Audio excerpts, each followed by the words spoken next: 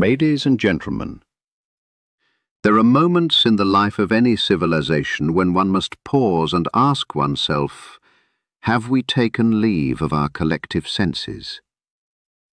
The spectacle currently unfolding across the United States, this breathtaking retreat from one of medicine's most triumphant achievements, surely qualifies as such a moment. We are witnessing in real time the voluntary abandonment of vaccines, those miraculous preventives that have spared countless millions from the ravages of disease. And we are doing so not because science has failed us, but because we have failed science. Consider the profound selfishness of this moment. We are the beneficiaries of one of the greatest public health achievements in human history. We have inherited a world largely free from the diseases that terrorized previous generations. And what do we do with this magnificent inheritance? We squander it.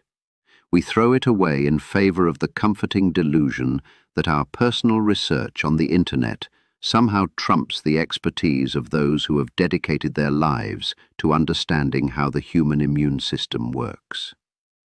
Into this fertile ground of confusion steps our political class, ever ready to exploit fear for electoral gain. Robert F. Kennedy Jr., that walking embodiment of the proposition that intelligence is not hereditary, has been elevated to positions of influence despite, or perhaps because of, his long campaign against the very vaccines that saved his generation from the scourges that decimated their ancestors.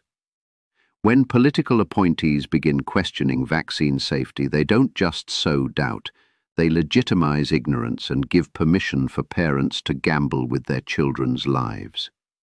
The path back to sanity requires more than just better public health messaging, though that would help. It requires a cultural reckoning with our relationship to truth itself. We must relearn the difficult art of distinguishing between legitimate scientific debate and manufactured controversy, between reasonable caution and irrational fear, between protecting our children and endangering them. The vaccines are still there, waiting.